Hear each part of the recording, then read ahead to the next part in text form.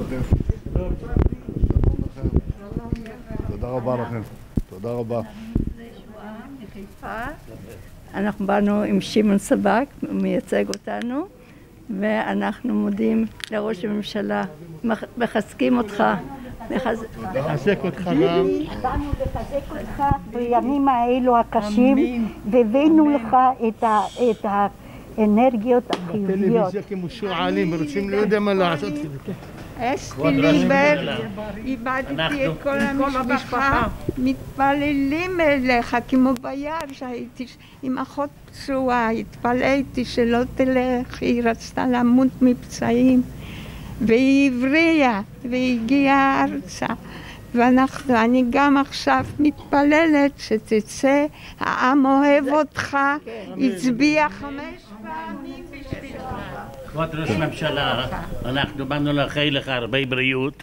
בזמן הזה שכמה זאבים ונמרים רוצים לטרוף אותך ואנחנו לצדך ולא ניתן שיפגעו בך. היות ואתה דואג לנו הרבה מאוד. אנחנו מייצגים בית ילדים בית יתומי שואה. של ניצולי שואה זה נחשב יש ושלא יהיה שואה בעולם. ילדי השואה תודה, תודה רבה לכם יקיריי. אתם... שיתקיים בך הפסוק וביערת הרע מקרבך. תודה רבה לכם. תודה רבה לכם. אני הייתי הנהג שלך עם המרצדס הראשונה בישראל. באמת. אתה זוכר אותי? אני לא זוכר שנהגתי במרצדס, אבל זה בסדר. אבל- אבל אתם נפלאים, תודה רבה לכם. ואתם מרגשים אותי, את ריגשת אותי מאוד. תודה רבה. אסתי ליבר, אסתי תודה, תודה. אני לא יכול לקחת. אני דמעות שאני רואה אותך תודה. מעשים לך כמו שועלים. תודה רבה. אתה זכאי.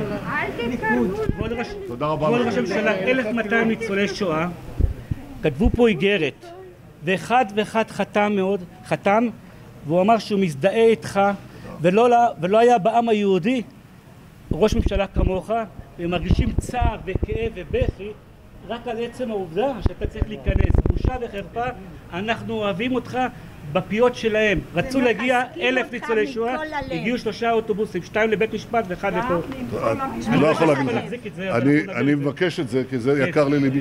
זה המסמך הכי יקר לליבי. תודה רבה לכם. תודה, תודה רבה לכם. אתם נפלאים. תודה רבה לכם.